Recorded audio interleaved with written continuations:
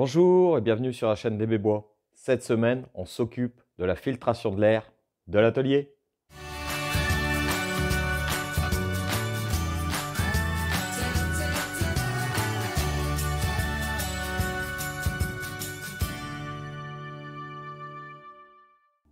Bien, alors pour cette filtration d'air, vous avez besoin d'un peu de matériel. Avant toute chose, je tenais à remercier tous ceux qui cliquent sur les liens Amazon ou liens général pour commander ce qu'ils veulent. Moi, ça me, donne quelques centimes. Et à la fin de quelques mois, vous voyez, je peux m'acheter un peu de matériel. Je vous remercie. Alors, pour cette euh, ventilation, vous allez avoir besoin de filtres. Donc, des filtres F7 et F4. Les ventilateurs. Donc, selon le volume de l'atelier, vous verrez, je vous mettrai le lien dans la description juste en dessous pour faire le petit calcul, pour se dire, voilà, on va mettre tel et tel ventilateur. Moi, je vais mettre deux ventilateurs pour un renouvellement d'air parce que l'atelier est quand même assez grand. Vous voyez, hein, des ventilateurs tout simples que je découvre avec vous. Voilà, ici. Donc, il y aura deux ventilateurs. Et je me connais, à chaque fois, c'est le truc où je ne vais pas allumer. Allumer, j'allumerai certainement, mais oublier l'éteindre ou je sais pas. Moi, j'ai acheté une prise ici qui est programmable. Donc, en fait, cette prise, on appuie plusieurs fois dessus. Et en fait, elle peut faire 15 minutes, une demi-heure, une heure, deux heures, quatre heures et jusqu'à 8 heures. Donc ça, quand j'irai manger, je laisse la VMC tourner une heure ou deux. Je sais que ça va s'éteindre automatiquement. Je n'ai pas besoin de revenir et ça continuera à filtrer l'air de l'atelier. Donc là, on a déballé l'ensemble. Je vous rappelle que vous retrouverez tous les liens dans la description juste en dessous. On va commencer par un petit croquis et ensuite on passe à la fabrication.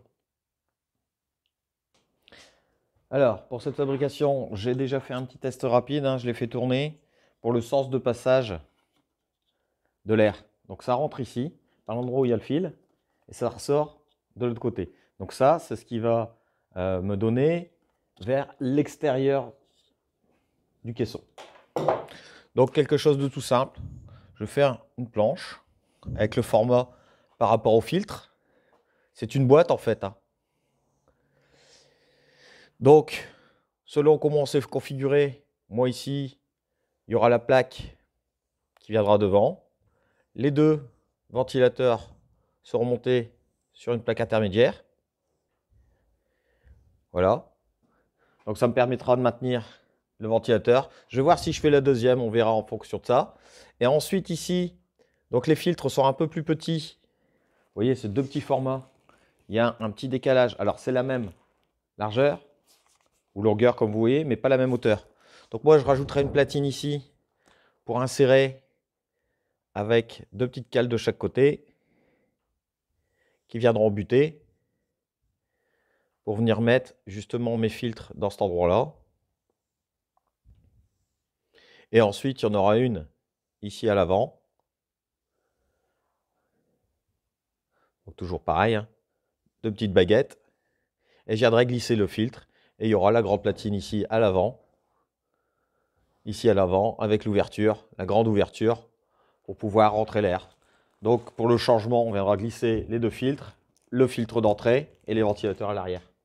Donc c'est vraiment tout simple. Je reprends quelques cotes et on commence la fabrication.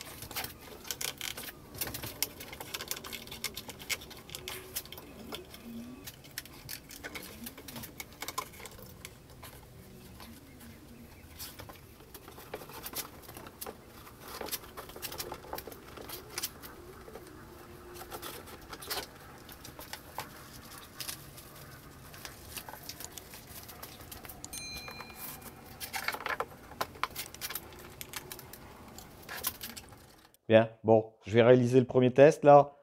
Attention, c'est du provisoire, j'ai pas de domino, je fais ça comme ça.